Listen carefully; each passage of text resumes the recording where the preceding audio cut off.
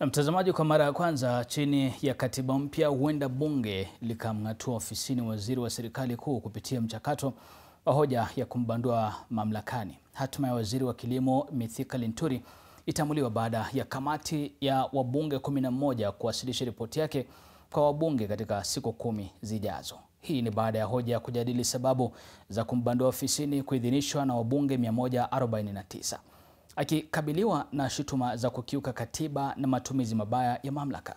Mwanahabari wetu wa maswala ya kisiasa ambaye ni Melita Ole Tenges sasa anaarifu.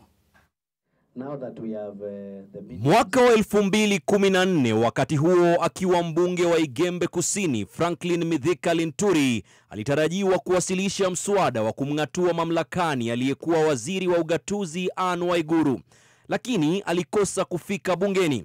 Sasa mambo yake ni kangaja na huenda yakaja.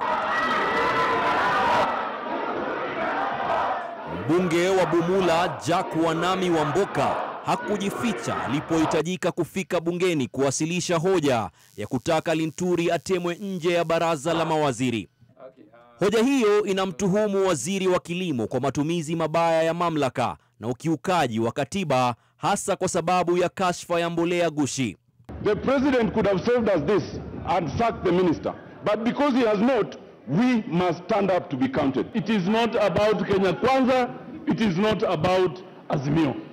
It is a moral question. Hoja iliungwa mkono na wabunge 149 huku 36 wakiupinga na watatu wakikosa msimamo. Kura zilipita thuluthi tatu ya wabunge wote 349 waliochaguliwa. Hatua hiyo iliidhinisha kamati ya wabunge 11 kuchambua zaidi hoja hizo.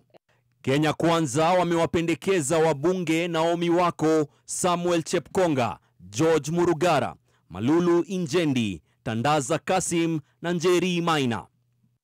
Azimio la Umoja One Kenya wamewapendekeza wabunge Robert Mbui, TJ Kajwang, Catherine Omanyo na Farah Yusuf. Chama cha Jubilii kimempendekeza Rachel Nyamai.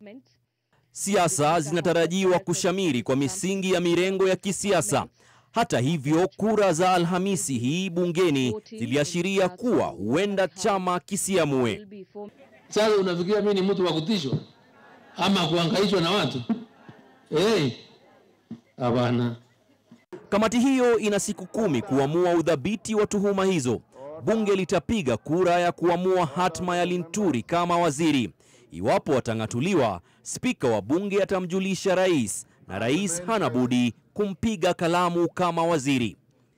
Melita Oletenges, NTV.